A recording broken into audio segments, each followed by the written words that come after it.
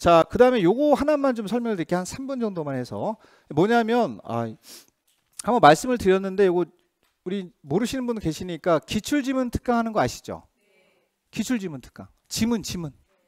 그럼 여러분들이 지금 공부를 했을 때, 자, 요 기출지문인데 전범위를 하는 거예요, 전범위. 음, 전범위. 그러니까 전범위 기출지문인데 2월 달에 합니다. 다음 달에. 그러니까 저는 두 번에, 두 번에 합쳐서 하는 거, 합쳐서.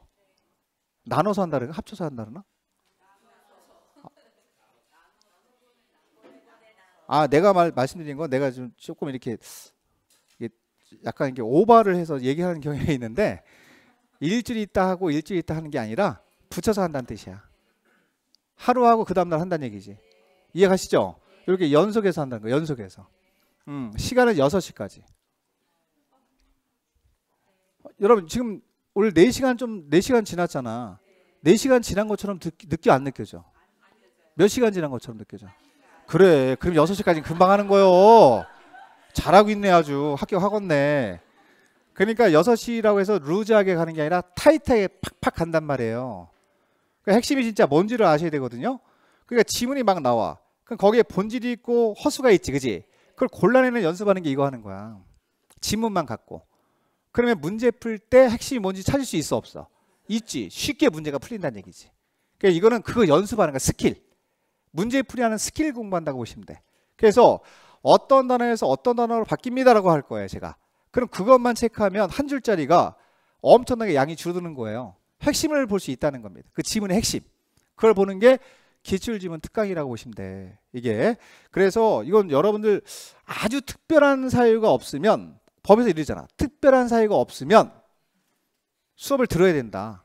특강을 들어야 된다. 이렇게 말씀드릴 수 있고 이게 어떻게 되는지 잠깐만 이게 잘 보이나 이거 여러분들? 이게 아 그냥 털면 들어요. 안 봐도 상관없어. 이게 예를 들면 광역도시 있잖아요. 그러면 이게 좀 크게 하지 이걸 좀 작게 가지고 여긴 다 옳은 내용으로 정리했어. 옳은 내용. 옳은 내용으로 정리했고 또 뒷장은 틀린 지문만 갖다 쓴 거야.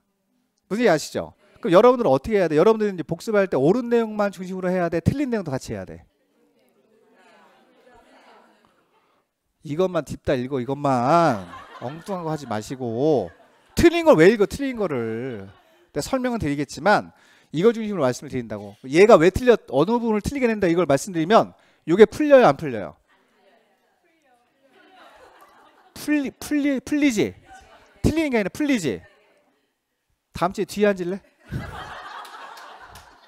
이렇게 이렇게 돼 이렇게 정리하시고 자, 뭐 요거는 여러분들 제가 말씀드렸으니까 아, 기출 지문 분석을 하게 되면은 문제 푸는 연습이 좀 되, 되기 때문에 아, 요거는 여러분 상당히 중요해요. 그래서 제가 볼 때는 저는 추천합니다. 추천. 개인적으로 추천하고 제가 뭐 특강에 뭐 돈을 벌기 위해서 이런 사람은 아니에요, 사실.